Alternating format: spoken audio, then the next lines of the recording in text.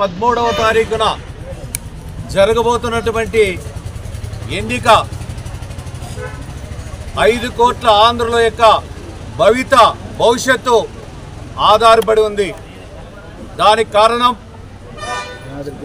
దాదాపుగా ఈ ఐదు సంవత్సరాల కాలంలో జగన్మోహన్ రెడ్డి పాలన ఒక అస్తవ్యస్తమైనటువంటి దుర్మార్గమైనటువంటి పాలన కొనసాగింది.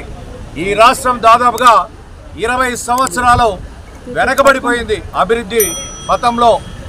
అందుకోసమే జగన్మోహన్ రెడ్డి ఈ రాష్ట్రంలో ఎన్నో దుర్మార్గమైనటువంటి పనులు చేశాడు. ఈ రాష్ట్రాన్ని భ్రష్టుపట్టించాడు. అదేవిధంగా ఒక హిట్లర్లా ఒక నియంత్రణ ఈ రాష్ట్రాన్ని పరిపాలించాడు. ఈ రాష్ట్రంలో ఏ ఒక్కరు కూడా సుఖ సంతోషాలతో లేరు. అదేవిధంగా వ్యవస్థలన్నీ కూడా నాశనం చేసి పడేశాడు భ్రష్టు పట్టించాడు. అంటే ముఖ్యమంత్రి అంటే ఆంధ్రుల యొక్క అభిమానాన్ని ముఖ్యంగా చూరుకొనాలి ప్రజల యొక్క భవిష్యత్తుని చూడాలా. ప్రజల యొక్క అభివృద్ధిని చూడాలా. కానీ ఈ జగన్మోహన్ ఆయన అభివృద్ధికి అభివృద్ధిని చూసుకున్నాడు తప్ప ప్రజల అభివృద్ధిని చూడలేదు. అదేవిధంగా ఈయన ఈ రాష్ట్రంలో చూసినట్లయితే ముఖ్యంగా యువత ఈరోజు బాధపడుతున్నారు. ఆ రోజుల్లో యువతకి ఏదో ఉద్యోగాలు ఇస్తాడు కదా యువకుడు కదా అనుకుంటే ఈరోజు ఏ ఒక్కటి కూడా ఫిలప్ చేయలేదు. ఆ రోజు జాబ్ క్యాలెండర్ అని చెప్పాడు. అదేవిధంగా ఉద్యోగాలు నియమికి నియమిస్తామని చెప్పాడు. డిఎస్సి ప్రతి సంవత్సరం కూడా కండక్ట్ చేస్తామని చెప్పాడు. ఒక్క డిఎస్సి కూడా కండక్ట్ చేయలేదు. అదేవిధంగా ఉద్యోగస్తులంతా కూడా ఈరోజు బాధపడుతూ ఉన్నారు.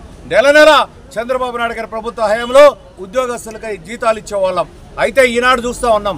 ఐదారు తారీఖులైనా పదహైదు తారీఖులైనా కూడా జీత భత్యాలు రావడం లేదు. అదేవిధంగా పోలీసులు కూడా బాధపడుతున్నారు. హెచ్ఆర్ఏ కానీ పిఏడిఏ కానీ ఏవి కూడా రావడం లేదు. అదేవిధంగా ఈరోజు రైతాంగం బాధపడుతున్నారు. రైతుకు రా- రైతులకు రావాల్సినటువంటి ఇన్పుట్ సబ్సిడీ కూడా పదిహేడు పద్దెనిమిదికి రావాల్సినటువంటి దాదాపుగా పదహారు వందల కోట్లు అనంతపురం జిల్లాకు రాలేదు. అదేవిధంగా అందరినీవా అనంతపురం జిల్లా వెనకబడినటువంటి మారుమూల ప్రాంతం.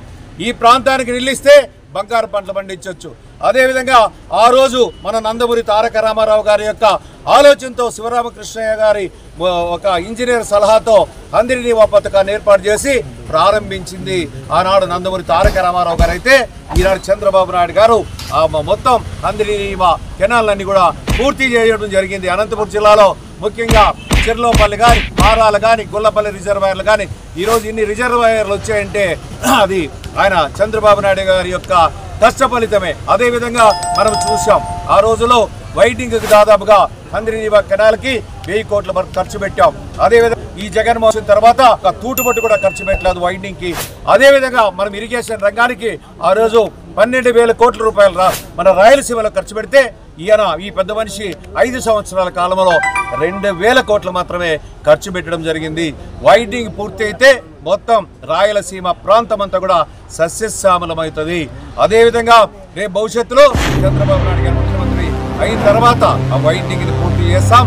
శరవేగంగా అన్ని ప్రాంతాలకి నీళ్ళు ఇస్తాం. అదేవిధంగా మనం చూసినట్లయితే రెండు వేల పద్నాలుగు నుండి రెండు వేల పంతొమ్మిదిలో చంద్రబాబు నాయుడు గారు అనంతపురం జిల్లా కరూరు జిల్లా. ఈ కరూరు జిల్లాలో వలసలు అరగలనేటువంటి ఉద్దేశంతో అదేవిధంగా పద్నాలుగు సీట్లకు పన్నెండు సీట్లు ఇచ్చి గెలిపించారు.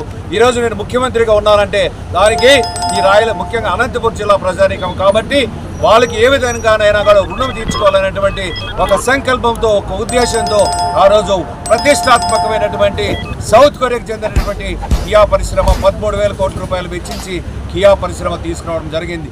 కియా ద్వారానే యాభై వేల ఉద్యోగాలు డైరెక్ట్గా ఇండైరెక్ట్గా ఈరోజు వచ్చిందంటే దానికి చంద్రబాబు నాయుడు గారికి కారణం. అదేవిధంగా అనుబంధ సంస్థలు కనుక ఇంకా ఒక పదహైదు అనుబంధ సంస్థలు వచ్చిందంటే ఇంకా ఒక యాభై అరవై వేల ఉద్యోగాలు వచ్చేది ఈ జా జేటాక్స్ భయపడి శంకరనారాయణకి భయపడి ముఖ్యంగా అవన్నీ కూడా ఇతర ప్రాంతాలకి వెళ్ళిపోవడం జరిగింది. అందుకోసమే అందరూ కూడా ప్రజానీకానికి ఆ అనంతపురం జిల్లా ప్రజానీకానికే కాదు ఈ రాష్ట్ర ప్రజానీకానికి కూడా విజ్ఞప్తి చేస్తున్నాం. వజ్రాయుధం లాంటి ఓటు ద్వారా ఈ బుద్ధి చెప్పాలి జగన్మోహన్ రెడ్డికి. లేకపోతే మనమంతా కూడా నాశనం అయిపోతాం రాష్ట్రం అభివృద్ధికి నోచుకోకుండా పోతుంది. మన భవిష్యత్తు మన పిల్లల భవిష్యత్తు రాష్ట్ర భవిష్యత్తు బాగుండాలంటే చంద్రబాబు నాయుడు గారు లాంటి ఒక విజన్ అనేటువంటి ఒక తెలివైనటువంటి నాయకుడు రావాలి. పాలించాలి తప్ప లేకపోతే పదమూడు లక్షల కోట్లు ఈరోజు భారం ఉంది అప్పు ఉంది. ఆ అప్పును తీర్చాలంటే కూడా చంద్రబాబు నాయుడు గారు ఒక్కరే సమర్థులు.